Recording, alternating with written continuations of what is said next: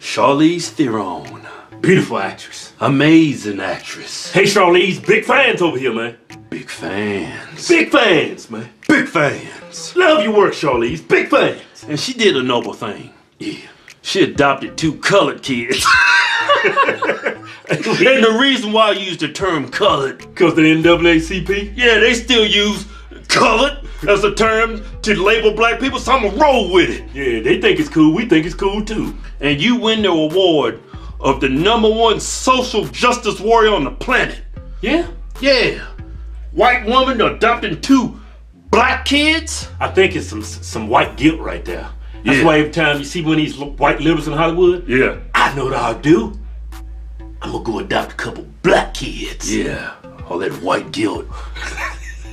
yeah, Even, though, even though you never owned a slave, your parents never owned a slave, won't you leave our black kids alone?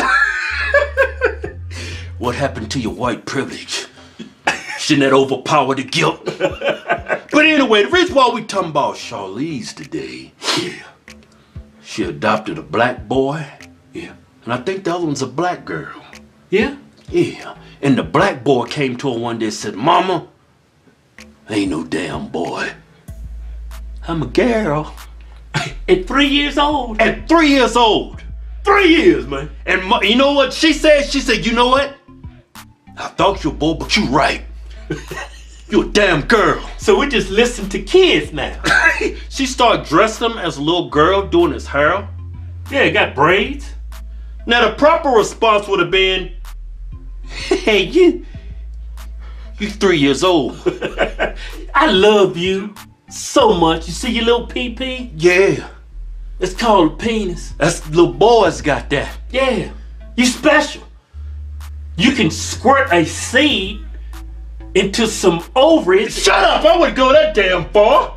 I'm just saying, you can create life. You got the seed to create. Yeah, that's crazy. Leave that alone. but anyway, right now, look, let me tell you something. When I was seven years old, Yeah. Right, we was both seven because we're twins, Yeah, I saw this life-changing movie. right? It was a cartoon. I saw Spider-Man, Well, it was life-changing at our age. right? At seven, I seen how he became Spider-Man. This damn spider bit him, and he started crawling up buildings, and shooting webs on people. You know what we did after we saw that? Went downstairs, and started looking for a bunch of black widows. Started looking for spiders. Put a damn black widow on, was hoping that damn spider was gonna bite me so I could become Superman. Do you know why? Cause at seven, I'm a stupid ass. that kid don't know no better. He's three. Yeah, the reason why he wants to become a woman, he has no father figure in his Yeah, life. she's All he sees is his, si- his his his sister and his mama. Yeah. And you're a beautiful woman, so guess what? You're influencing him every day. He wants to be a woman. He doesn't have a man in his life. Yeah, I think it should be a prerequisite. Prerequisite. Say it again. Prerequisite. Close enough. If somebody's gonna adopt some kids, it got to be a stable household. it's got. I, I think there should be a man and a woman. Yeah. Doesn't have a father growing up. That kid grows up Jail. Prisons. Robbing people. criminal.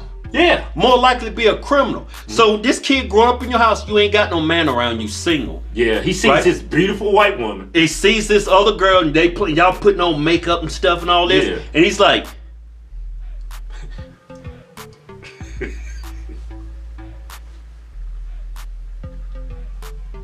"Hey, mama, hey, I ain't no boy no more." I'm a white woman. That's why he's doing that. You know what you should have did? You should have gave that boy a basketball, put him in a corner, and say, "Hey, look, watch this. This dude right here, his name is LeBron. Watch his crossover." That's gonna be you one day. We got some new shows coming. We're going to Columbus, Cincinnati, Dayton, Toledo, Cleveland, Washington, D.C. Pittsburgh, Philadelphia, Memphis, Minneapolis, Tacoma, and St. Louis. Go to hodgetwinstour.com for tickets.